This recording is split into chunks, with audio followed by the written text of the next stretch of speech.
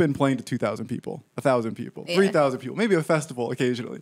And you're walking into arenas of 10, 20,000 capacity. Yeah. I mean, no one could really prepare you for that.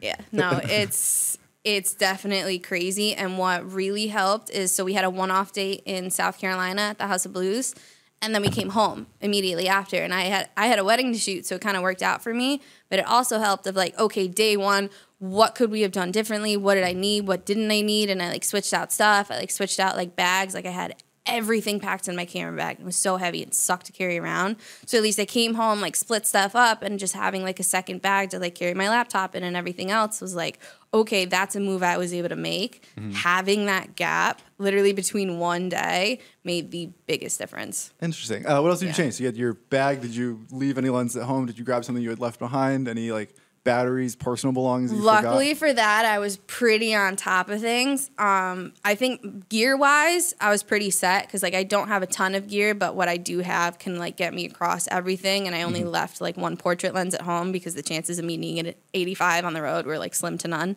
Um, just the weight of the bags help. What I didn't know how to do is how to pack for myself for like a month because I didn't know I didn't know if like laundry was a thing on the road, and I'm like, I swear to God, if I run out of underwear, like I'm gonna freak out. And that's like, such a hard thing to ask like- them. Of like, I'm just meeting you. Yeah, But like, yeah. I'm like, I don't know Yeah. what to ask, and it's like I also like I, I freak out. Like I'll do anything to not be rude. Like I'll try so nice to be like, oh, I don't want to like impose or Mm-hmm. Yeah. anything, and I didn't know like so we were supposed to have this renovated truck that we were gonna live in.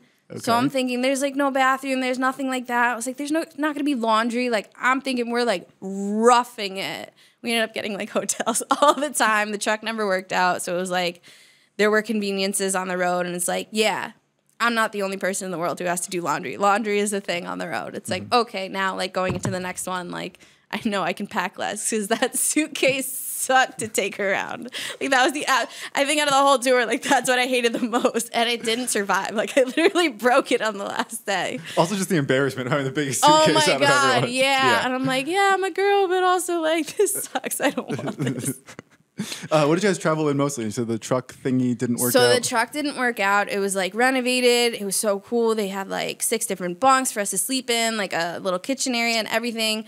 But it wasn't realistic to like drive on the road with people because it would be the the they didn't have a suspension to like support it, so it'd be like way too bumpy, and there was just so many things. So we were traveling in a suburban with a trailer the whole time, and then when we could, we would like get hotels, and then other times it was like the drive between venues was like ten to twelve hours, and you had to be there. So we would like leave whatever venue we were at like midnight, one a.m. whenever we were like done packing up, and just went straight there, and you kind of just like roughed it. So, you know, that makes always for like a fun and like tiresome adventure. Uh, I always look back fondly on like the Walmart parking lots Yep. in the morning. Uh, was that your experience as well, waking up at 8 a.m. in Walmart? Uh, not a Walmart. We would just do go straight to the venue. Once I got woken up in Louisiana at an IHOP, and that feels like a fever dream. I wonder if I've been to that IHOP. I've been to many an IHOP in Louisiana. Yeah, I have my friends out there. Like, I've been down there many Oh, times. Yo, it was the weirdest experience. Like it was 3 a.m. and I obviously Imagine we're the me there. only ones there. And I'm just getting woken up. I was up for almost like two days straight Mm-hmm. because that's when I had just started working for like Breaking Benjamin on the tour. And so I had just like been editing and they just like wake me up and they're like, yo, we're at IHOP. I'm like, okay, what? The International House of Pancakes. yeah.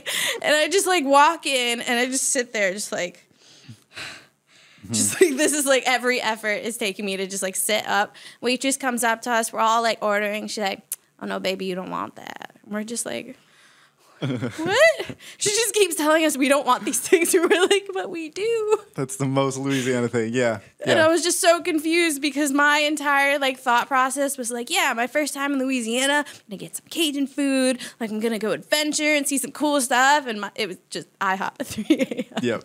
There's something to comfort food, like when you're on the road and everything is so foreign throughout the time. Like there's Yeah. something about nice that like an IHOP is the same basically everywhere. And It was actually the first time I'd ever been to an IHOP. How is that possible? I just I don't go out to eat. I'm so cheap. Have you been to an IHOP since? Was that your singular IHOP experience? no, and it was a bummer. So I want to go back to an IHOP and be like, I need you guys to like fix this experience for me because she kept telling us all the things we didn't want, and then she still brought out everything wrong. Like she, she was super nice. Like no, like no hate on her, mm-hmm. but also like She's not listening. It's okay. yeah, no, I.